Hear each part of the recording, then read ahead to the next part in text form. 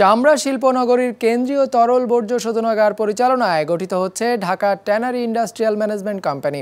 দায়িত্ব বুঝিয়ে দিতে আগামী সপ্তাহে গঠিত হবে কমিটি।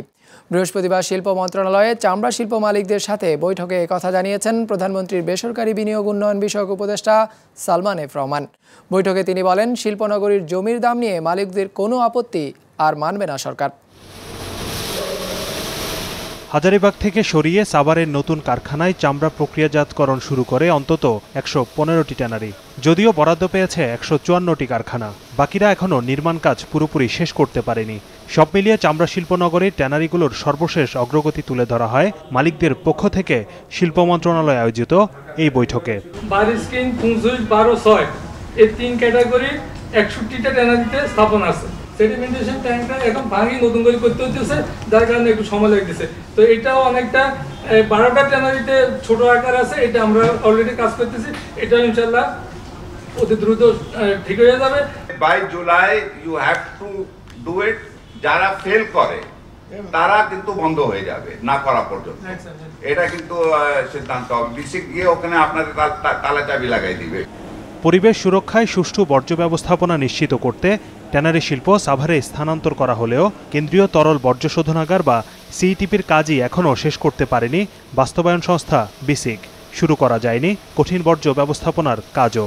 এখন যে ডাম্পিয়ার্ড আছে, তার পাশে যে খালি জায়গা আছে এল ডব্লিউজি ওদের স্ট্যান্ডার্ড মতো আমরা একটা ডাম্পিং এর কাজ আমরা শুরু করব। আর ওভারঅল সলিড ওয়েট ম্যানেজমেন্ট নিয়ে দীর্ঘদিন যেমন স্যার আমাকে সচিব স্যার বলতেছিলেন যে এটা একটা ইউআই দেন, এটা কীভাবে ম্যানেজমেন্ট করা যায়। এটার জন্য আমরা টেন্ডার ডকুমেন্ট মানে টু স্টেজ টেন্ডার মেথডের টেন্ডার ডকুমেন্ট আমরা তৈরি করে ফেলছি। যদিও জুনের মধ্যে সিইটিপির কাজ শেষ করে তা মালিকদের বুঝিয়ে দেওয়ার নির্দেশনা আছে বিসিকের প্রতি। সিটিপি পরিচালনায় ট্যানারি মালিক ও চামড়া শিল্পের সংগঠনগুলোর সমন্বয়ে কমিটি গঠন প্রক্রিয়াও শেষ হয়েছে এরই মধ্যে। আমরা দশটা নাম পেয়ে গেছি ফ্রম ট্যানার্স অ্যাসোসিয়েশন সানডেতে আপনারা যদি না দেন মানডেতে ওই দশটা নাম নিয়ে কোম্পানি ফর্ম হয়ে পরে আপনি বলবেন না কি আমার তো কোনো প্রতিনিধি নাই। আমরা দেখতে চাইছিল কিন্তু ওদের তো নাম নাই। নাম নাই you have miss the board তবে জমির দাম নিয়ে এখনও আপত্তি রয়ে গেছে ট্যানারি মালিকদের। যদিও সে আপত্তি আমলে নিতে নারাজ প্রধানমন্ত্রীর বেসরকারি বিনিয়োগ বিষয়ক উপদেষ্টা।